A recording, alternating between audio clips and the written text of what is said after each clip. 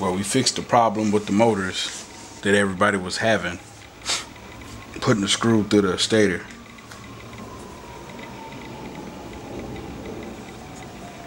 See right here, that's how thick it is. And he came up with this piece of material. We was gonna make a different, uh, bigger case, but he don't want the motors to get that uh, air in there, gap. So that's why he keep them real tight. So this right here, you know, you can feel it. If you go through this, then I really don't know what to tell you. You know, you just get ready to spend your money and buy another stator. But basically it goes on there.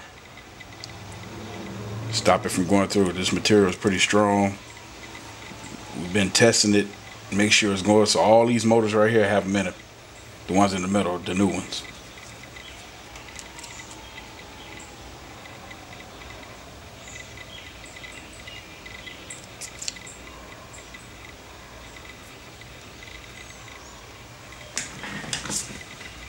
Sure you guys can see that.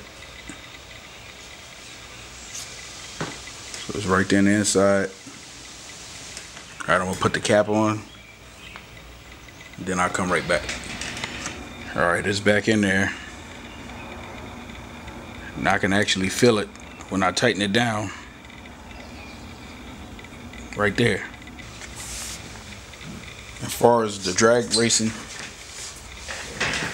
I will have a line of motors me and Jose coming out with. These motors you can't buy from him. You only can get them through me. So this one is 1120. See the plate is already into the can already, so you don't have to worry about that. 10 scale. 5 millimeter shaft. This is a standard shaft right here. So they both will be available soon. And then we're going to do a couple of more versions of this.